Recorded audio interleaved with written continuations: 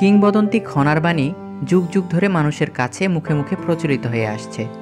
আজও খনার বাণী বা বচন তুমুল জনপ্রিয়। চলুন তার জনপ্রিয় কিছু বাণী অর্থসহ জানা যাক। ভোরবেলার হাওয়া লাখ টাকার দাওয়া। অর্থ সকালবেলার বাতাস লাখ টাকার চাইতেও দামি। তেল তামাকে পিত্তনাশ, যদি খাইতাম বারো মাস।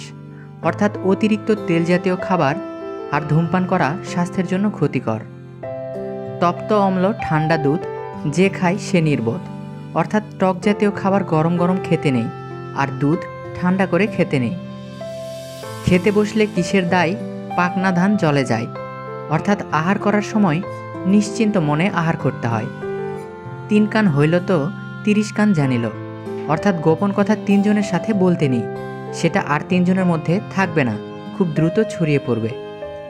দুগ্ধশ্রম গঙ্গাবাড়ি এই তিন উপকারী, অর্থাৎ দুধ, শারীরিক পরিশ্রম আর নদী অথবা সমুদ্রের জল খুবই উপকারী। পিড়ে উঁচু, মেঝে কালো, তার দুঃখ চিরকাল।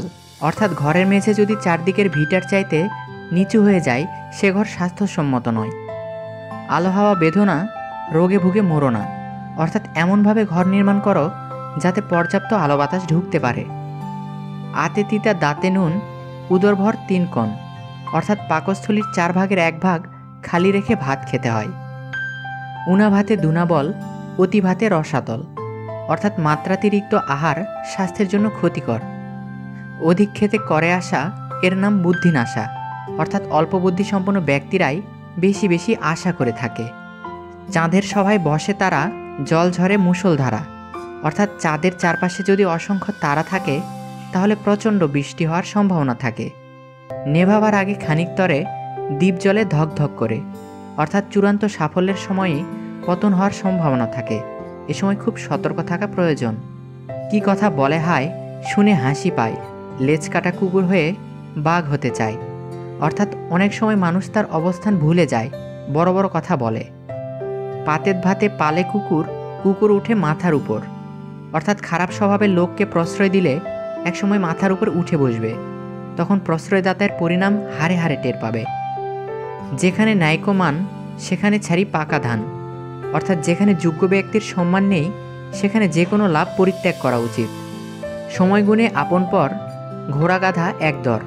অর্থাৎ অনেক সময় সম্মানিত ব্যক্তি এবং অভদ্র ব্যক্তির অবস্থান এক হয়ে যায়। কথার নাম মধুবাণী, যদি কথা কইতে জানি। অর্থাৎ মুখের কথা দিয়ে সমাজের সবার মন জয় করা সম্ভব।